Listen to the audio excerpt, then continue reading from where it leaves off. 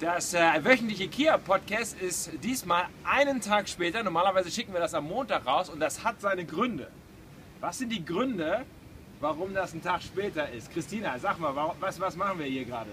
Genau, ja, hi erstmal aus Lissabon, über den Dächern Lissabons. Für mich schon die erste Überwindung gewesen, überhaupt hier hochzusteigen. Aber ähm, ja, die Jungs haben es äh, mir ermöglicht, sozusagen meine Grenze zu überwinden und wir sind hier, um für die Kia einen Workshop zu machen und uns äh, damit zu beschäftigen, wie es nächstes Jahr für die Kia weitergeht. Genau. Und äh, da haben wir uns ein großes Thema rausgenommen. Wir waren dieses Jahr ja ähm, im Kongo mit einem Team von 19 Leuten. Und für nächstes Jahr haben wir uns überlegt, da wollen wir irgendwie noch mehr Projekte machen, nicht nur ähm, bei uns zu Hause in der Heimat, sondern eben in der ganzen Welt. Robert?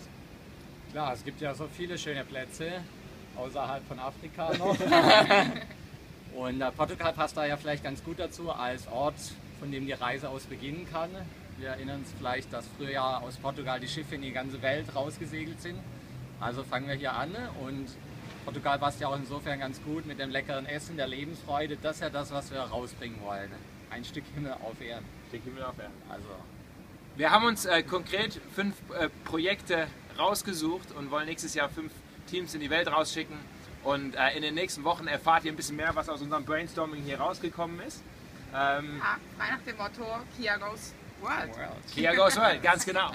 Ähm, also ganz liebe Grüße. Wir sind auch schon bald wieder äh, zurück äh, in Frankfurt. Am Donnerstagabend äh, unterrichte ich Deep Talk im Away Café um 20 Uhr und am Sonntag lassen wir es wieder krachen in Crossways mit Let It Shine, denn das ist unser Motto in diesen Tagen und Wochen. Wir wollen unser Licht leuchten lassen überall. Äh, wir schicken euch also ganz liebe Grüße hier aus Lissabon. Bye.